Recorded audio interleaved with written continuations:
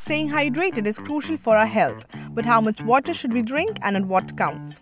This guide will bust some of the myth and give you tips to stay refreshed this summer. Dehydration happens when you lose more fluids than you consume. Warning signs could include fatigue, headache, dry mouth, muscle cramps. Infants, older adults, and those who are exercising outdoors are more at risk. Thirst is a good indicator, but it can be unreliable for some, especially older adults during exercises. Check your urine color. Pale yellow means you're hydrated and dark yellow means dehydrated. The 8 glasses a day rule is a myth. Daily water needs vary depending on factors like age, activity level, and climate. The National Academy of Medicine recommends 2.2 liters for females and 3 liters for males daily.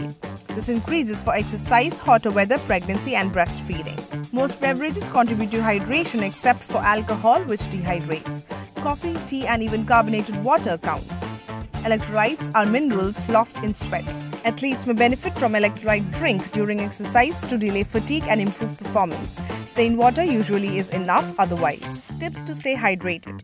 Make a habit of drinking water with meals, flavor water with fruits, herbs, or even unsweetened sparkling water. Keep a reusable water bottle handy. Consider a water bottle with time marking to remind yourself to drink. By following these steps, you can stay hydrated and feel your best throughout the day.